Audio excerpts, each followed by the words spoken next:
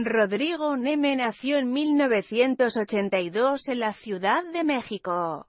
Comenzó como modelo a los 17 años. Su primera participación en televisión fue en el programa Club 4 TV, donde conducía la sección de cocina del programa de revista Diariamente. Después estudió en el Centro de Educación Artística de Televisa.